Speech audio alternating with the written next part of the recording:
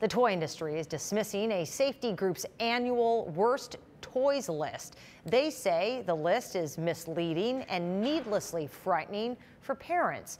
The group called World Against Toys Causing Harm, or WATCH for short, revealed its nominees for the 10 worst toys on sale this holiday season.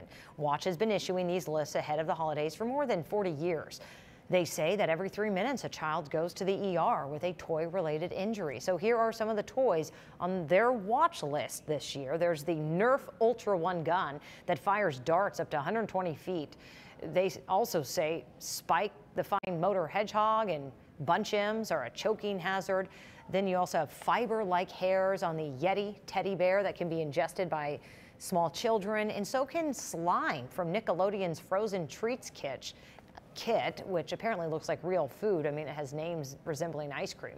The organization says that many toys have hidden hazards or just inconsistent warning labels, labels putting children at risk of injury or even death. When it comes to toys, we don't want to wait until children are injured or die.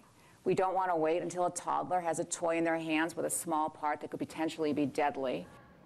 Yeah, and the Toy Association, which represents most of those manufacturers on the list, dismissed it as, again, misleading. It suggests that parents always should purchase toys, though, from reputable stores and online sellers.